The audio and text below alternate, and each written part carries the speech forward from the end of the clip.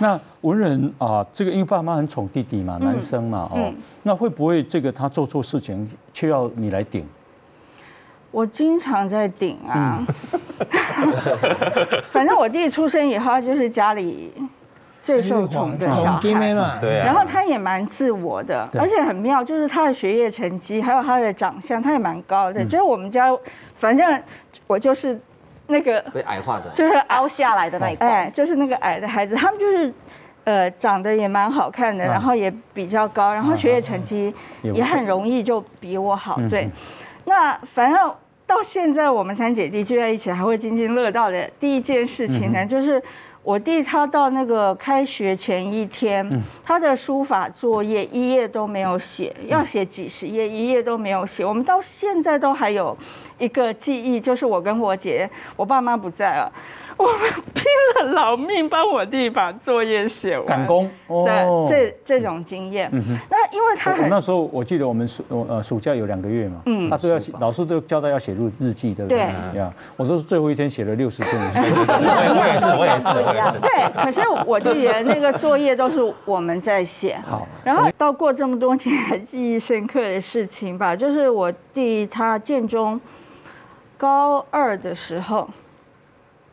哎，对，差不多是那个时候，呃，我父母两个人一起去日本玩，然后去日本玩回来的时候，就告诉我，呃，去去日本出门前就告诉我说，你弟弟哈，现在好像有在交女朋友，嗯，然后学业成绩也不如以前那么好，那既然你是一个跟他感情不错的姐姐，你就有责任，嗯。要告诉你弟弟说，现在才在念高中，不要交女朋友，而且学业成绩要保持好。对，这个就是我们对你的期望啊。然后我爸妈就手牵着手去日本玩了。那说真的，我自己也不觉得我对我弟有这么大的影响力吧？对，可是我就是一个从小觉得。我答应了你，我就要去实现的老实的个性，所以我记得我就是一直思考了，大概第四天、第五天，他们都要回来了，这个时候我才跑去找我弟，他跟我弟说，那个爸妈出门之前有交代我，一定要好好的劝你不要交女朋友，然后要好好读书，这种成绩他们大概不会接受。可是那个时候他正值青少年叛逆期。所以他其实被我这样讲了以后，他不是不高兴我，他只是觉得很烦，很暴躁。所以我爸爸一回来，礼物都还没拿，他就对我爸妈大发了一阵脾气，就是那种青少年叛逆的那个很大的脾气。当然就把爱他如一颗心的那个我妈给伤了，伤了，对不对？然后。我妈就去跟我爸告状，结果结局是他们两个联手把我打了一顿。嗯啊，高中了还要打？为什么打？不是不是，他已经大学了，已经是大学了。为什么打你？我就记得到现在这么多年，我就记得他们就说，呃，他们郑重拜托我的事，我不但没有做好，而且我就是一个沟通不良的人，不会讲话。然后到底说了他们什么？就是我觉得那个责罚比。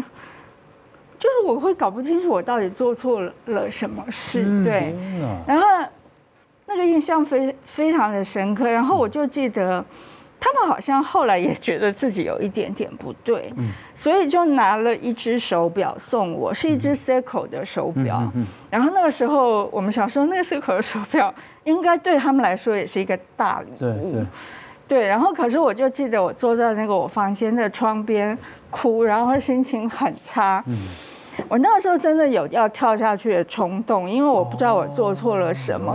可是当然，当然没跳嘛，要不然怎么可能在这儿？对不对？但是我做了一件我这辈子也不太会做的事，就是我把那只很贵的 Seiko 手表丢下去，从家里的窗户扔下去。哇！嗯，而且我没有去，没有去把它捡回来，因为你真的受伤了。我太我觉得这个故事有两个盲点。嗯，第一个，你父母交代你，他当然知道他们自己讲孩子会不高兴，但是他交代的不够清楚。应该说，文人，我们要出去了，你以你的身份劝你弟弟交女朋友可以，功课要顾好，千万不要说到父母讲的，这是一个重点。嗯，因为毕竟父母讲的，他们叛逆叛逆。他不能交女朋友。第二个，你你你讲的时候，你不能讲说父母讲你，那等于你那你等于白讲了，等于父母要做做黑脸了。您甚至想说，爸妈很希望你讲句不同，爸妈也认为你交女朋友也没有太多的意见。但我觉得我做姐姐的，希望你好好功课顾好。爸妈希望你扮黑脸，最后你只想说爸妈这样讲你，我是我是你父母哈，我也会送你手表，但一样会骂了。嗯，不好意思，这是沟通上有一个很大的障碍。不然要你我爸妈又不是哑巴，干嘛要你讲？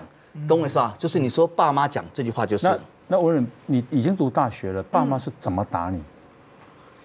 就是，应该是我的脸部有受伤吧？挂你哦，应该是对。拳击手套不是？就蛮生气的，当然过了这么久也不记得细节。对。不过我我觉得张老师讲的可能有道理，但是第一个就是，也许我真的是没有沟通的很好。嗯。然后第二个就是要回应张老师，可能会回应不完。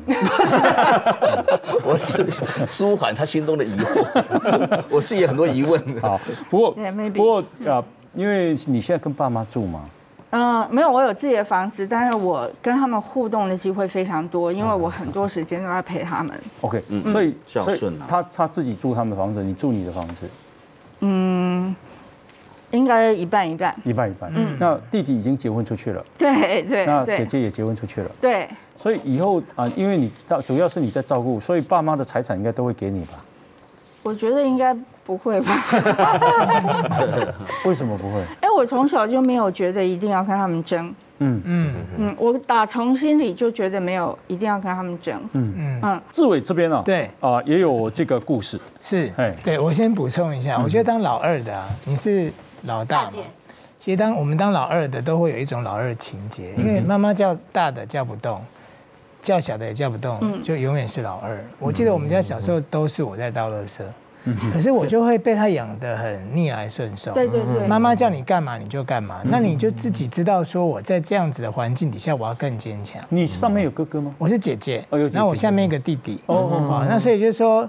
差不多。妈妈说叫姐姐去，姐姐说叫弟弟去啊，反正两个，你看你要叫哪个去啦？嗯嗯。好，啊，不然就你去，啊，小的就不要啊。妈妈会说阿姨别要了，不立起啊那种。对对对对。对，那所以说，我觉得当老二的人，他就是在三个人当中，其实你仔细去看哦，要么就是老大，要么就是老二。老二是最特别，我认识很多就是排行老二的人，就是很早独立，然后他就会觉得说，我不需要靠。姐姐啊，弟弟啊，爸爸妈妈，我就可以自己。对，所以郑大哥，你刚刚问文人的那个问题啊，其实我妈也曾经跟我讲过，说你就比较有能力，嗯，所以妈妈以后这个在南部的房子，如果留给你弟弟。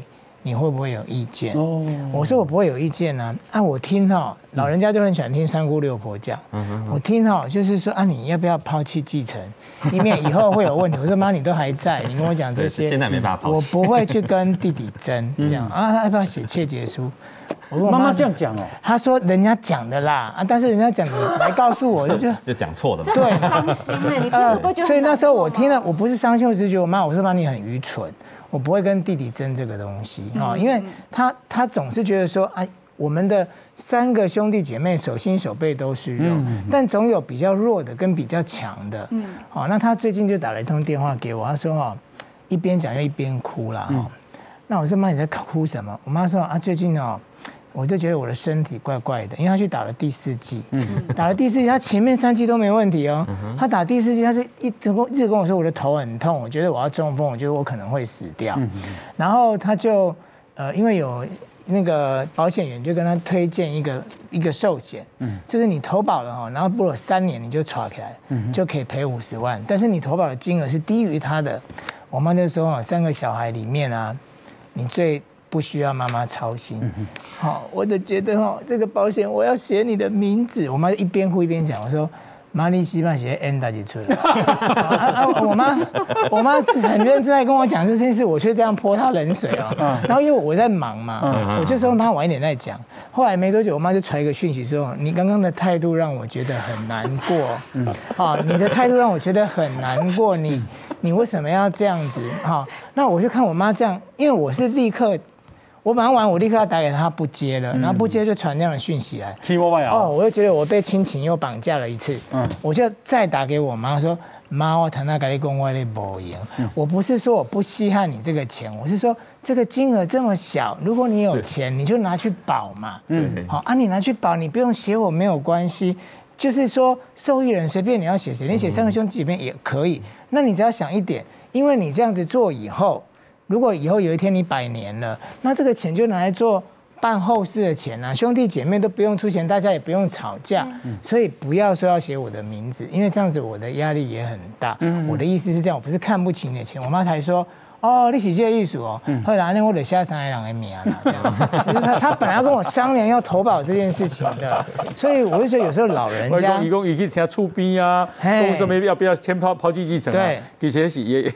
他或许心里会担心嘛，但是我是觉得妈妈的担心是多余的啊。对，新闻哇哇有 YouTube 频道喽，请大家搜寻新闻哇哇哇，或者扫描 QR code。也可以啊，按下订阅钮，开启小铃铛，请大家继续分享。